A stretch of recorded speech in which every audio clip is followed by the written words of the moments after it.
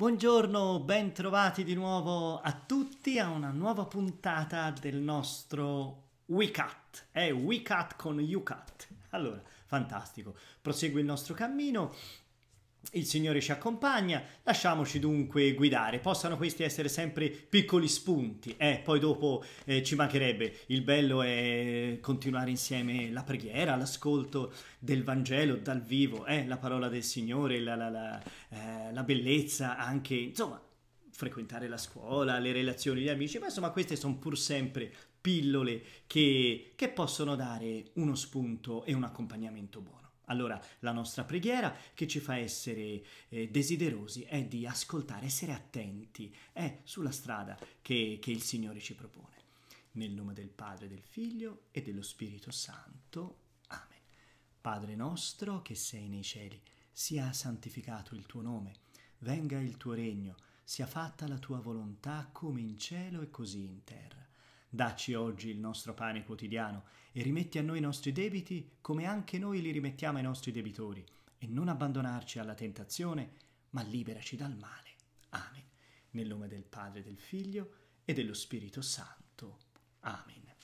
Bene, carissimi bimbi, ragazzi, genitori, catechisti, tutti quanti. Allora, eh, proseguiamo insieme il nostro cammino. Stiamo Così, meditando e guardando insieme alla passione di Gesù, il suo amore per noi che arriva a tanto, eh, arriva davvero a dare tutto. Allora, ehm, oggi, vedete, sono argomenti grandi, facciamoci piccini eh, dinanzi a tutto questo. La Quaresima ci aiuta, torno appunto a dirvi eh, gli appuntamenti che, che, che mm, si distendono lungo le singole settimane di Quaresima ci aiutano. Ecco perché ogni domenica davvero è un appuntamento prezioso, un appuntamento da, da, da, goderci, come proprio un invito del Signore che si dona a noi e ci dona la sua parola che è davvero la scuola giusta, il, il sentiero giusto, è la via vera, la, la, verità, è la vita. Gesù lo dice, via, verità, vita. Allora è quello l'importante. Eh, ci vengono dipanati i misteri tutti della nostra salvezza, nella nostra vita, in quello che viviamo. Per cui ben venga. È anche così una piccola riflessione eh, volgendo lo sguardo a, a, chi patisce sulla croce per noi, al Signore Gesù, ecco in questo momento questo ci sta riguardando, ecco come piccole catechesi che facciamo, però appunto nella consapevolezza che il Signore è sempre con noi, allora ecco la comunione che faccio alla domenica, la preghiera che dico in casa, eh, col papà, con la mamma, mi aiutano, mi aiutano a a far scendere, a praticare tutte queste cose, è nella mia quotidianità. Per cui la Quaresima è davvero un tempo favorevole, è per soffermarsi anche su queste meditazioni e riflessioni. Allora, la croce di Gesù. Uh, c'è una domanda, eh, ci potremmo porre, quindi abbiamo visto come il processo Gesù patisce sotto Ponzio Pilato ingiustamente, viene arrestato, condannato, un pochino abbandonato da tutti, condannato alla morte di croce, è la morte più infamante, è la morte dei, dei, dei, dei peggio criminali, eh, diremmo. E allora anche i suoi discepoli si spaventano davanti a questo e, e scappano. Gesù dunque non aveva più amici? Ebbene, quando è iniziata la passione di Gesù. Eh, ormai questa, questa, parola ci stiamo prendendo confidenza, eh, no, non è da prendersi tanto alla leggera. Eh. La passione di Gesù può, può quasi, appunto, a prima vista spaventare tanto che tutti lo abbandonano. I suoi migliori amici lo hanno abbandonato, almeno in quel momento. Eh? Quando Gesù è stato crocifisso, solo pochi erano ancora lì presenti. C'erano alcune donne, c'era la mamma di Gesù, Maria, che proprio sotto la croce diventa anche la nostra mamma. Gesù l'affida a ciascuno di noi e dice a ciascuno di noi, ecco lì la tua mamma, affidati a lei, io ti affido a lei. Mamma, io a te affido tutti questi figli, che meraviglia. E poi uno solo fra i discepoli c'era, sapete chi? il più giovane di tutti, il più giovane dei dodici. Chi è? Mm? Provate un po' a vedere, ve lo dico, Giovanni. Il discepolo di Gesù Giovanni, un ragazzo, eh, all'epoca dei fatti del Vangelo, è l'unico che viene lì, tanto che lui accoglierà Maria con sé, eh, nella sua casa. Eh, Gesù gliela consegna e nel discepolo che Gesù amava, che è Giovanni, ci siamo ciascuno di noi.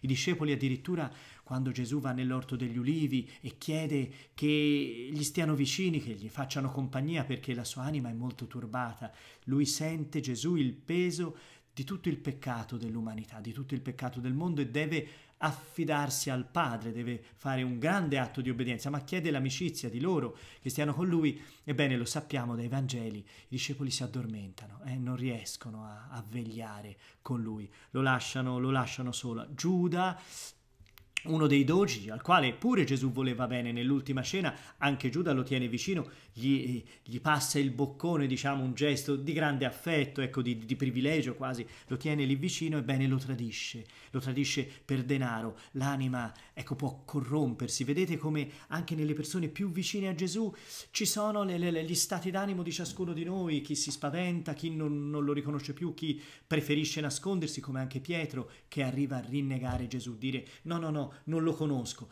per non avere a che fare con qualche cosa di brutto, di impegnativo come l'arresto e, e, e la condanna di Gesù stesso. Ma in tutto questo come si comporta il Signore? Sempre con amore, continuando a, a guardare, a tenere eh, la, sua porta, la sua porta aperta. È per tutti noi, per cui ecco, percorrere gli eventi della passione di Gesù e ripeto, la Quaresima ce ne dà l'occasione, quindi riserviamolo ai vari momenti. Eh. Arriveremo poi al, al, al, completarsi del cammino della Quaresima quella che si chiama la settimana santa, nella quale rivivere momento per momento, giorno per giorno, i momenti stessi appunto della passione del Signore Gesù, fino ad arrivare proprio sulla croce. Ebbene, allora, ma Gesù, che è il figlio di Dio, il figlio dell'Onnipotente, vero uomo, ma vero Dio, è morto davvero sulla croce? Sì, Gesù muore il venerdì, è il venerdì prima del sabato, il sabato è la festa per il popolo di Israele, era il giorno prima della Pasqua ebraica, che ha un nome un po' complicato, la Parasheve, cioè il giorno che precede la Pasqua degli ebrei.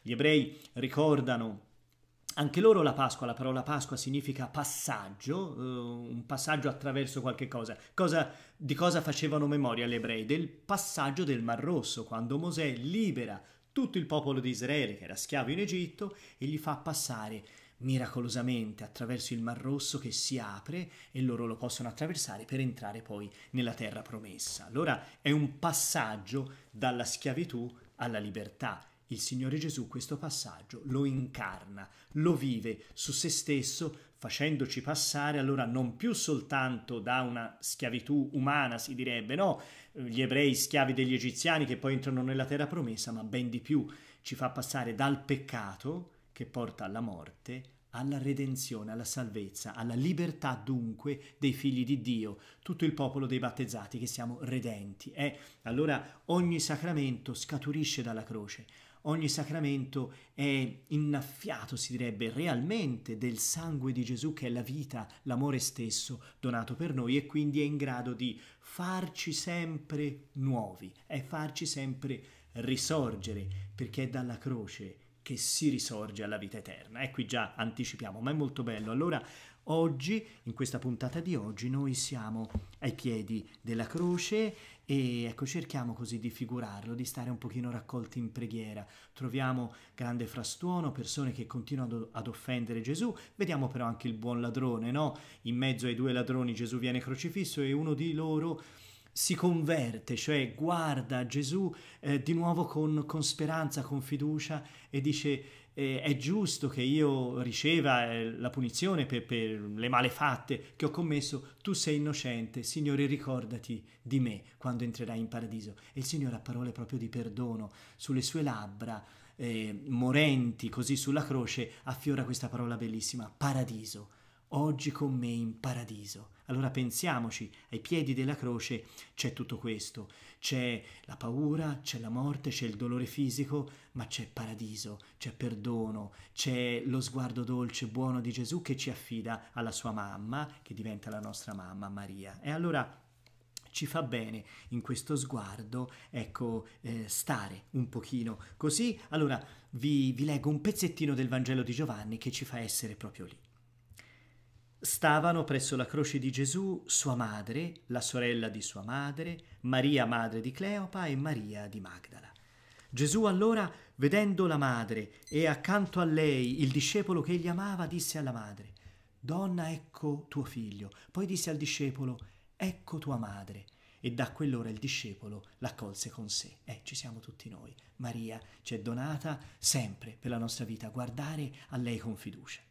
Dopo questo, Gesù, sapendo che ormai tutto era compiuto, affinché si compisse la scrittura, disse, Ho sete. Vi era lì un vaso pieno di aceto. Posero perciò una spugna imbevuta di aceto in cima a una canna e gliela accostarono alla bocca. Dopo aver preso l'aceto, Gesù disse, È compiuto. E chinato il capo, consegnò lo spirito. Eh, spirò. Morì consegnò allo Spirito l'estremo dono che il Signore fa, è lo Spirito Santo stesso e che eh, noi riceviamo in dono nella morte stessa sulla croce del Signore Gesù. Ecco, in questo momento davvero si fece buio su tutta la terra, in questo momento Gesù, il figlio di Dio, muore sulla croce, realmente, eh, il cuore letteralmente si, si spacca, eh, il cuore eh, in questa tensione fra l'amore al Padre e l'amore agli uomini viene, viene spaccato. E dona tutto di sé, tanto che il centurione con la lancia trafigge il costato di Gesù, ci dice sempre Giovanni, eh, subito ne uscì sangue ed acqua sono segni sicuramente, ma sono cose anche reali di chi ha dato tutto, eh? ha versato tutto il suo sangue, come dire, tutto il suo amore, tutta la sua vita per noi. Ci dice Giovanni chi ha visto ne dà testimonianza e la sua testimonianza è vera. Egli sa che dice il vero perché anche voi crediate. Ecco allora per noi, carissimi, in modo semplice, siamo piccolini, essere ai piedi della croce di Gesù oggi è per ravvivare la nostra fede. Ci dice l'Apostolo Giovanni perché anche voi crediate. Io ero ai piedi di quella croce, ho veduto sangue d'acqua. Ecco, è il segno proprio di tutti i sacramenti che ci eh, annaffiano, che sono, è la nascita della Chiesa, è la nascita della, della storia di ciascuno di noi, è dal cuore stesso mh, mm, di Gesù eh, che, che, è la nostra salvezza. Eh, allora oggi abbiamo guardato insieme alla, alla, alla croce, eh, lasciamoci dunque accompagnare dal Signore, siamo sempre più nel vivo della Quaresima, vorrei, ecco così, lasciarvi, bambini soprattutto a voi, con delle parole belle, piene di speranza, sentiamole proprio come la parola buona che ci è rivolta per rinnovare. È un pochino quei propositi che si dicevano prima del mercoledì delle ceneri, vi ricordate?